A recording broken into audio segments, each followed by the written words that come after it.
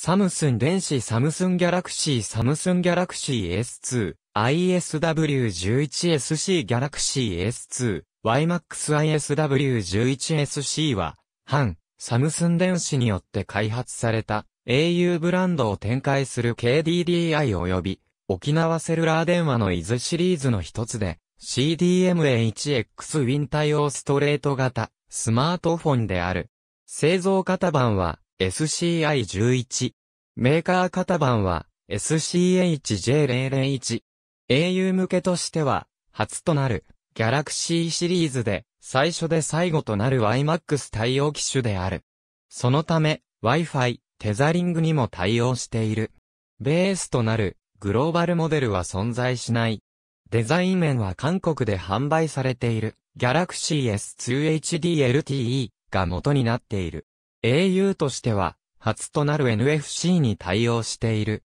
ただしお財布携帯には、非対応。auIC カードはマイクロではなく通常サイズのものが用いられる。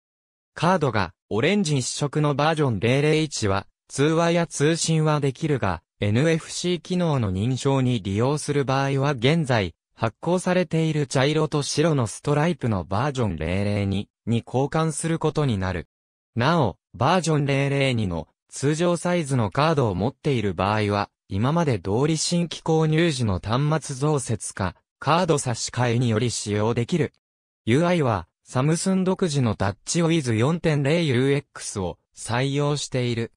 この機種を含む2012年春モデル以降の機種より、順次、新書体を用いた新デザインの au ロゴが刻印される。また、起動直後に表示されるロゴは、Android au ではなく、au の新ロゴが表示される。防水性能は備えていないほか、ワンセグ、赤外線通信には、非対応である。